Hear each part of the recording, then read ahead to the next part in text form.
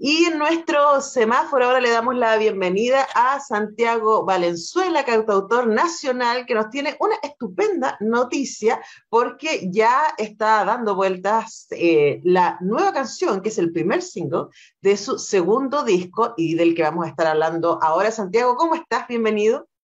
Hola Antonella, hola a todos y todas y todos auditores de la Radio Universidad de Chile, ¿cómo están? Muchas gracias, muy bien. Bueno, nos alegra mucho que puedas estar eh, con eh, nosotras esta mañana para poder contarle a la gente de esta canción, pero también de tu trabajo como cantautor, eh, porque vamos a hablar de la colaboración que hiciste con, con, Maida Larraín, que también ha estado acá en el programa hablando de, de su música, pero em, hablemos entonces de lo, que, lo que ha pasado entre Reivindicando Cigarras, que, que salió el 2020, eh, hasta este, este segundo trabajo, ¿no? Sabemos que pasó una pandemia, sabemos que pasó un montón de cosas, Chile es otro, estamos escribiendo una nueva convención, una nueva constitución, ¿cierto? Tenemos presidente nuevo, etcétera. Eh, ¿Cuánto de ese proceso eh, se cruzó en, en, este, en este segundo disco? O sea, mucho, porque así como en el primero está también cruzado todas las circunstancias que van ocurriendo a mi alrededor y que me provocan algo. Eh, para mí ha sido bonito pensar que desde Reivindicando Cigarras hasta lo que va a ser el lanzamiento de este disco completo en mayo, hay una especie como de, de, pandemia mediante, es como un paréntesis de la pandemia, porque Reivindicando Cigarras se lanzó en marzo de 2020, el 10 de marzo, y fue para toda la gente que fue, justo, justo, fue para toda la gente que fue a ese concepto el último, el último espectáculo antes del cierre total.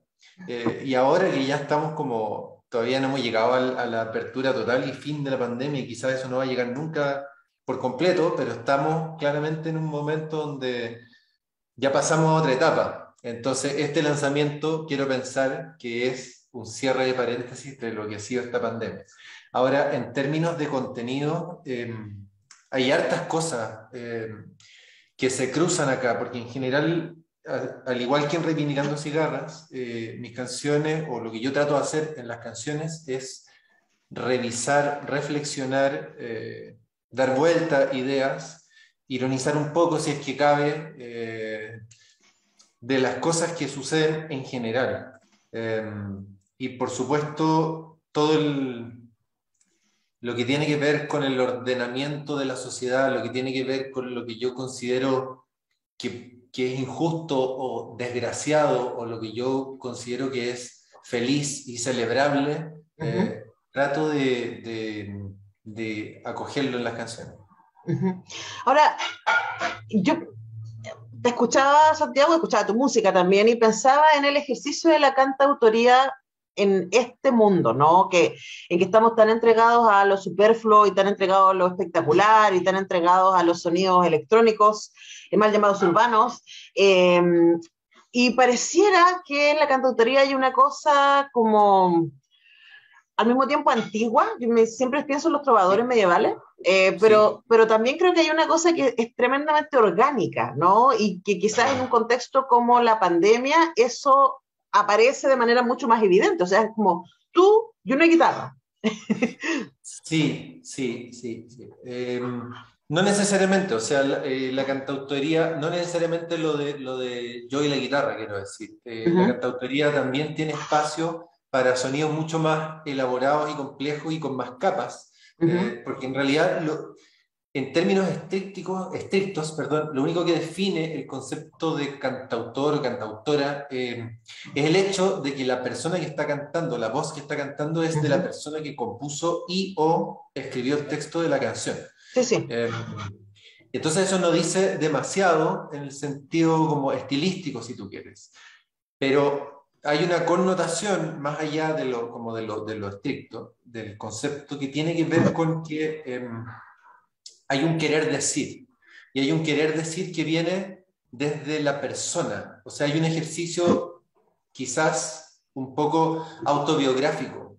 Sucede en muchos cantautores y me pasa a mí también muchas veces que el, el hablante lírico o el yo poético se funde eh, fuertemente con el, con el autor. O sea, es el autor hablándote directamente muchas veces. Em, hay una... Por eso creo yo que, que, sucede que muchos cantautores usamos como nombre artístico nuestros nombres reales, aunque no es una regla ni, ni, ni una condición eh, exclusiva de la cantautoría, pero sí es algo que, que suele darse. Eh, y yo creo que, que, que, está en eso, en yo te estoy hablando, yo te estoy diciendo algo, que a lo mejor me pasó, que a lo mejor hay algo de ficción, porque también hay espacio para la ficción, pero yo te lo estoy diciendo a ti. Y pienso también como, como persona de teatro que ha estudiado la voz, eh, que, que, el hecho de que esa voz que está cantando sea de la persona que escribió la canción o que la compuso, eh, entrega algo que, que, la interpretación no, no, no puede dar, que, que, no sabría describirlo exactamente qué es, pero que tiene que ver con una conexión eh, interna con aquello que se está cantando. Sí, y, de hecho también creo que a, a, lo que iba, ¿no? A esta cosa así como de la guitarra y uno mismo, pensando particularmente en Téngase Presente, que es el disco que tú estás empezando a compartir, que eh, en el contexto de pandemia, ¿no? Eh, estar encerrado básicamente con tus pensamientos, con tus experiencias y sin mucho acceso a eh, toda la parafernalia que puede venir a acompañar toda la producción musical y de los amigos y amigas con los que uno puede colaborar cuando está creando música, no, no puede ser una jam session. En, bueno, se hicieron claro. muchas virtuales, pero, pero para, para el Téngase Presente, que es el nombre de tu segundo disco, tú escogiste ir con un formato que fuera mucho más minimalista. Entonces, más bien me, me refería como a, a, este disco en particular, ¿no? Eh, cuéntanos respecto, respecto a ese proceso.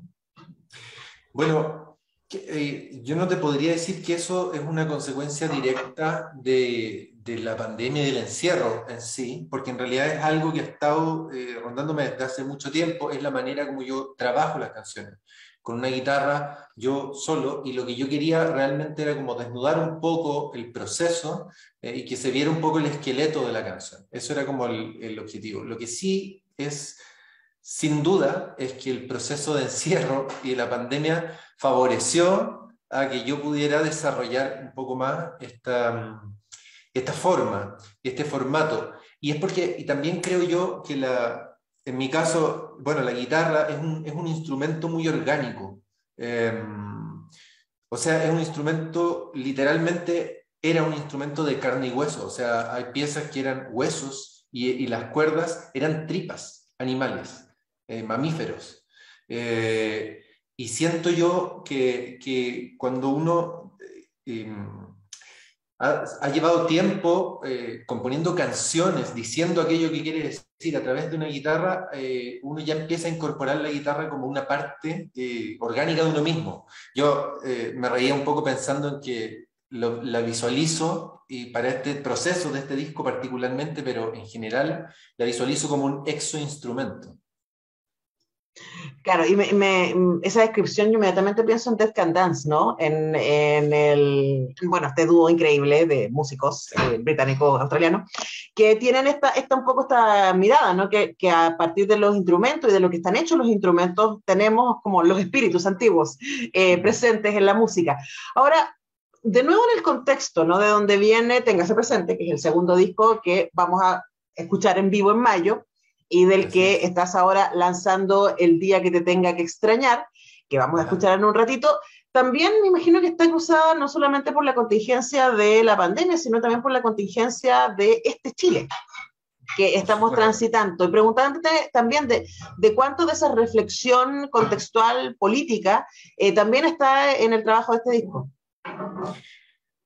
Mucho, mucho porque en realidad toda esa reflexión política está permanentemente en mí eh, y lo que yo intento hacer generalmente es decir cosas nuevas o decir cosas de una manera que suenen nuevas eh, respecto de lo que yo pienso que no sea imponiendo una manera de pensar. O sea, yo no quiero decir yo pienso esto y quiero que ustedes piensen esto y los que me vengan a ver piensen esto por decirlo de una manera un poco burda, sino que yo quiero eh, mostrar, pues eso intento y espero que, que, se consiga, mostrar un ángulo nuevo que, que, que, permita que compartamos una reflexión respecto de algo en ese ángulo. El, el primer, la primera canción del disco, la que se abre el disco, y es la que le da el título de Téngase presente, que aparece ahí en un momento, dice Téngase presente. Em, la canción se llama Si yo fuera un dictador. Es una canción un poco em, sarcástica quizá, donde yo fantasío en que me convierto en una especie de dictador y hago todo lo que me gustaría que se hiciera, eh, para lo cual siempre hay muchísimos obstáculos, que uno los puede entender o no. Eh, eh, digamos, algunos pueden ser súper entendibles, pero que no se pueden hacer. Ahora, ahí hay un, hay un ejercicio, ¿no? Con, con la imaginación, hay un ejercicio de diálogo también con quienes te escuchan. Eh, les recordamos que estamos hablando con Santiago Valenzuela, actor y cantautor, que está presentando el primer single de su segundo disco, El día que te tenga que extrañar, en donde comparte micrófono con Maida Larraín. Así que hablemos un poco de esa colaboración. Bueno, eh, la Maida es una gran amiga y muy admirada colega, cantautora, también actriz, em, que está en un camino, yo diría, parecido al mío, que obviamente con, con diferencias en, las cosas que cada uno hace, por esto mismo que hablábamos antes, ¿no? que la cantautoría es algo tan personal. Em, pero creo que en muchos puntos tenemos muchas convergencias, nos interesan los mismos espacios, eh, nos interesan muchas veces temas similares. Em, y, y, ha sido una gran cómplice en buscar estos espacios porque yo también comparto lo que tú decías hace un rato, Antonella, de que la cantautoría tiene algo un poco antiguo, ¿no? O sea, uno está un poquitito como anacrónico. Eh, no, es el, eh, no es el mainstream hoy día, la cantautoría. Em, pero, pero es, lo que, es lo que uno quiere hacer. Y, y, entonces, y ella se ha ido convirtiendo en una gran amiga. Y cuando yo eh, quería lanzar este disco, estaba esta canción que es, es, una canción que tiene algunos años, de hecho, em, y que yo quería darle una vuelta y quería, algo le faltaba a la canción y de repente dije, mira, a lo mejor lo que le falta es la voz de la Mayra, la raíz, que es una de sus características principales, una voz muy bella, muy dulce.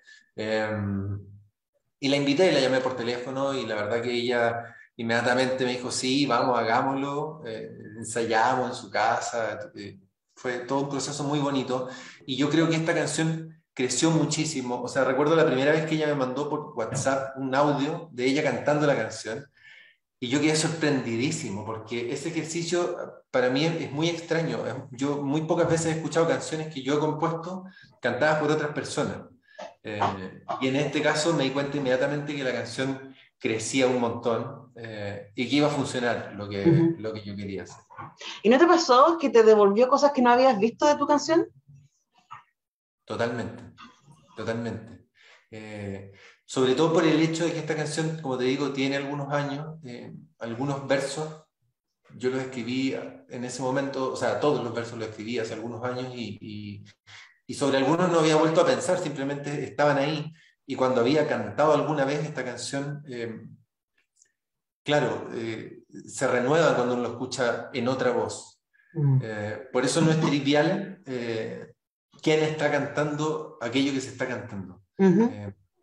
porque la oralidad tiene eso que no tiene el texto escrito, que es que eso de que las palabras se las lleva el viento tiene que ver con que las palabras vuelan. Cuando son dichas, las palabras vuelan. Tienen una capacidad de, crear y, de, de, proponer nuevos espacios que, está, que está mucho más allá de aquello que la palabra consigue en el escrito. Eh, tiene que ver con la intención, tiene que ver con, la textura, tiene que ver con una temperatura.